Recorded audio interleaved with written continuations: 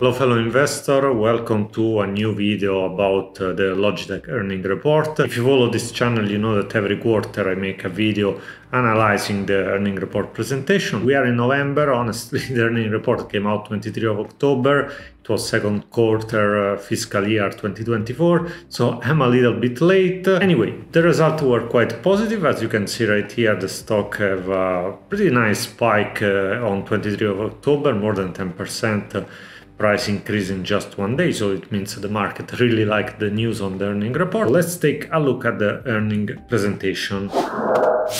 These are the slide deck, uh, link in the description if you want to take a look by yourself. Uh, let's move a little bit down. There are new product launched by Logitech. I will not dig into that.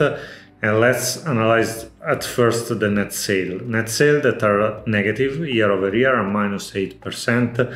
This was highly anticipated. I mean, we all knew that uh, Logitech is uh, having a rough time right now after the big increase of revenue that was uh, post COVID. If we take a look here uh, on the financial side, of Logitech. We can take a look at the earnings. Uh, you see that 2021 and 22 was a very good year for Logitech and now things are adjusting a little bit. We can check quarterly and we see that the situation is uh, trending down even if uh, in the last two quarters there was an increase of revenue quarter by quarter, especially revenue and profit. We will see a bit later.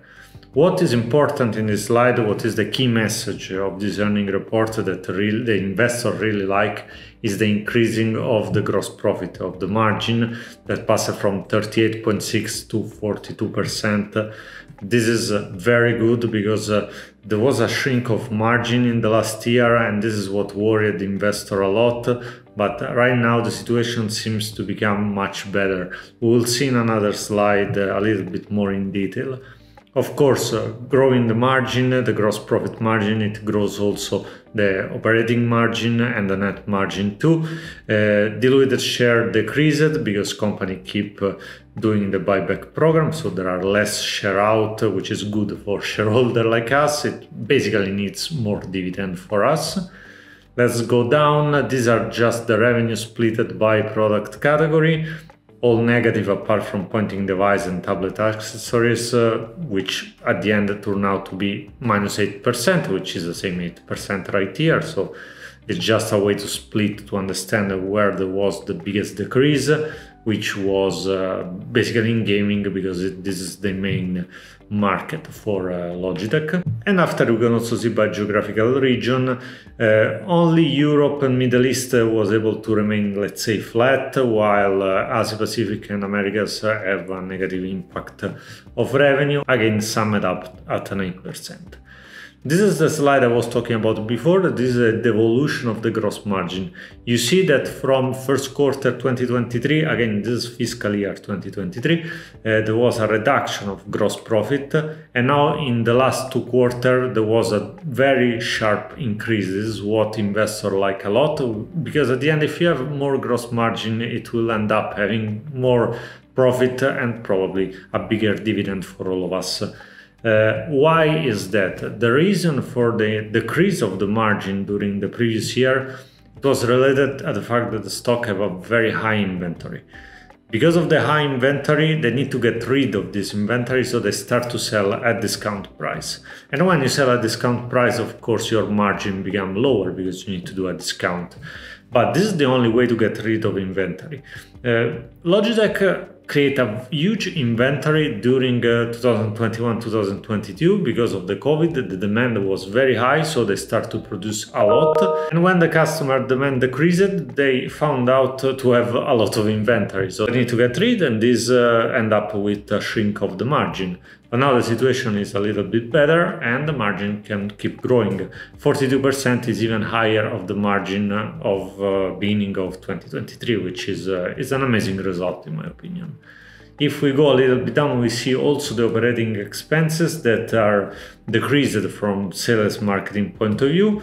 Remain quite flat, just a minus 3% on R&D, research and development. This is very important that the company try to keep a good level of R&D expenses because uh, if you don't do research and development, you cannot create new product, you cannot come up with new technology and stuff like that. So you cannot keep innovating. And I even say here we continue to prioritize investment in research and development. As you can see, by million of dollar it passed from 66 to 64 so there was a decrease but as a percentage of sale it was an increase so i'm happy about that. And unfortunately higher administrative cost if we move down, this is another slide that is very interesting. In all my report, I deeply analyzed this slide because this is uh, the cash conversion cycle. Give you a snapshot of the inventory. You see that inventory passed from 880 million to 533. It was a big decrease, 39 million decreased quarter by quarter, 347 year by year. It's a huge decrease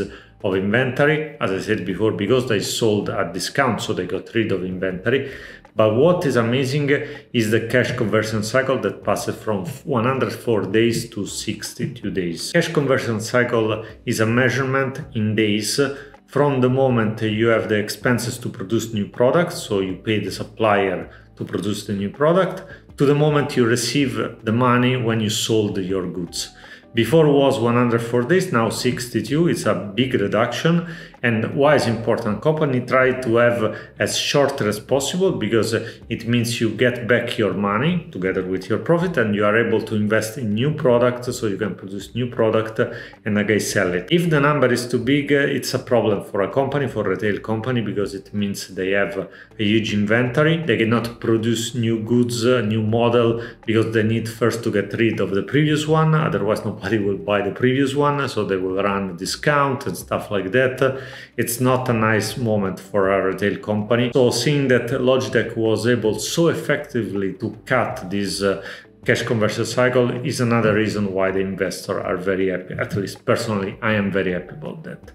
And last slide we will take a look is the outlook uh, for the full year 2024. That was a revision of the outlook, of course, in, in a better way. Before you can see right here, the previous outlook was a net sale between 3.8 to 4 billion. Now it's from 4 billion to 4 billion 150. A nice increase. The net sale decline because they are still know that 2024 will be a decline in net sale, but it passed from 16 to 12 to 12 to 9, so a lower decrease. And there is also an increase in operating margin passing from uh, from a gap between 400 500 million to more than 500 even close to 600 million all these news are very positive of course for logitech if we take a look uh, at uh, the stock price right now, this is five year stock price, we see already that from the middle of 2022 they started price increase. Because investors have to see the light at the end of the tunnel let's say.